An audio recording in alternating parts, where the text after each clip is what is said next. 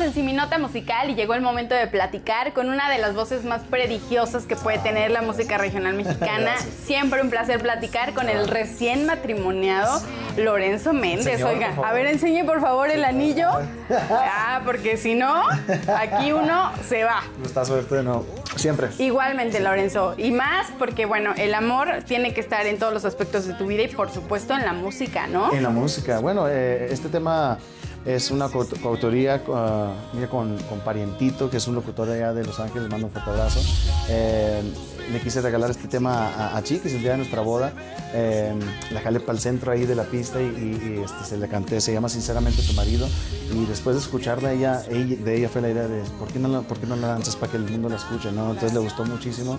Eh, y, y, pensándola bien, casi no hay canciones que, que se puedan dedicar. Si, si te pones, si, si, pones a pensar, casi no hay canciones. Bueno, hay tiempo de vals de, de, de, Chayanne, ¿verdad? pero son para, no, pues son para quinceañeras. De blanco y negro, casi, casi.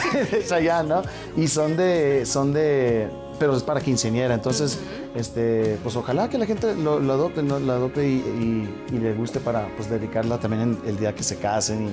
Y es una canción muy romántica y pues del corazón. Sí, es un, buen, un buen pretexto, la verdad, para dedicarla. Como tú dices, como que hay mucho ahorita cortavenas y de decepción, despecho, y nunca está de más una canción romántica y que tenga tanto significado en tu vida. Tanto significado en mi vida y, sabes, la aceptación del tema ha sido muy rápido.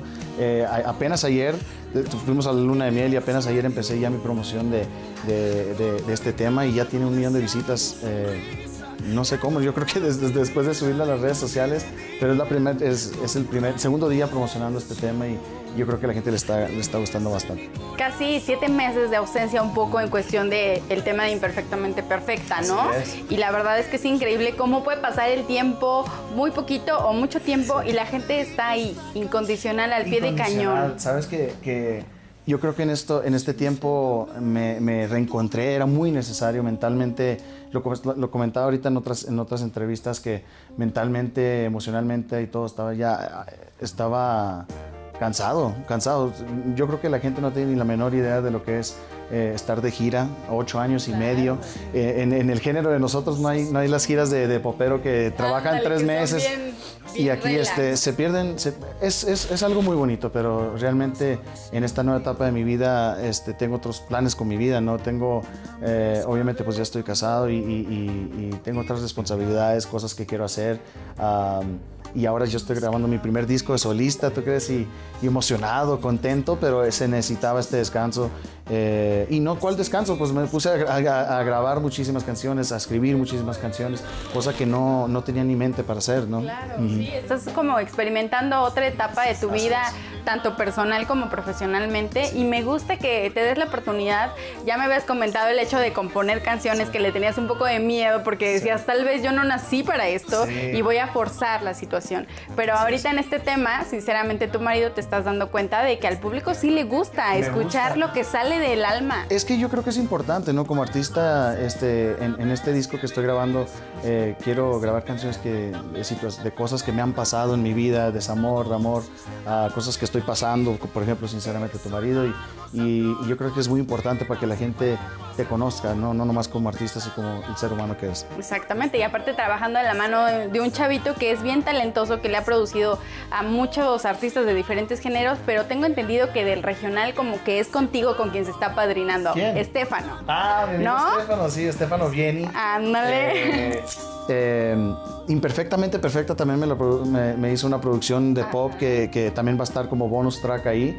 Ah, y, nada, le ha hecho un chorro de discos a, Dulce María, a Kalimba, que es casi, tu hermano. Así es, le mando un abrazo a Kalimba. No, no, no lo he visto mucho tiempo, pero se le extraña. me, acaba de mandar, sí, me acaba de mandar una un mensaje y le mando un fuerte abrazo. Me gustaría hacer un dueto con Kalimba, ¿sabes? Justo. Yo creo que estaría padrísimo. estaría increíble. Sí. La verdad Voy a Es que tuvimos la oportunidad de disfrutarlos arriba del escenario cuando tuvieron una presentación en el Auditorio Nacional, ¿te acuerdas? Sí, sí, y, y, se siente, luego luego se nota cuando alguien se lleva tan bien, cuando hay química y aparte, qué nivel de de, un talentazo, un talentazo el, compa Kalimba y, y, nada, de hecho por Kalimba yo conocí a Stefano Vieni y ese y es el productor de esta, de esta de este nuevo tema. Ok, ese tema era de Horacio, bueno es de Horacio Palencia, ¿no? Sí. Y entonces ahorita estás en el proceso creativo o ya tienes tu disco ya elegido, estás en, la elección. Estoy en el proceso que ah, es el que no me gusta la elección de canciones porque ya lo tienes, ya tienes tus 12 canciones y de repente no mejor este y acá y no hombre es, es un